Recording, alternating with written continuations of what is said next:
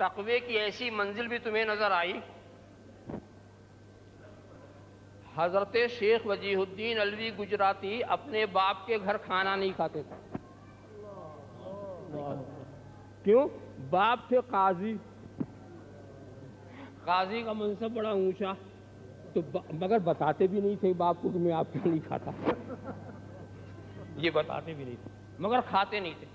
नहीं खाते थे। अब उसके बाद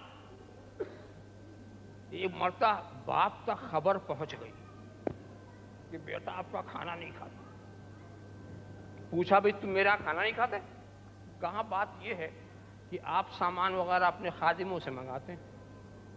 हो सकता है लेन देन बे और शरा में कुछ गड़बड़ी होती हो, कुछ हक तलफी होती हो, और काजी का नाम सुनकर कोई बोलता ना हो। इसलिए मैं नहीं खाता। कहीं उसमें साहिबा ना हो। कहा बेटे खाने पीने में हर मामले में मैं कामिल एहतियात से काम करता हूँ। अगर ऐसे इतना एहतियात ना करता तो तेरे जैसा बेटा कैसे अल्लाह नारे तकबीर नारे रिसालत।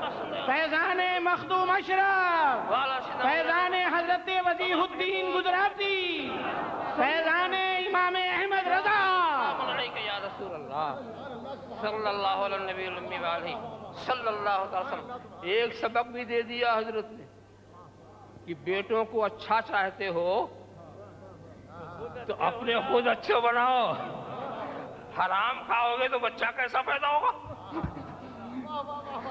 हराम खाओगे तो बच्चा कैसे पैदा होगा? आप अपने बच्चे की शिकायत करने से पहले अपना मुहासबा करना।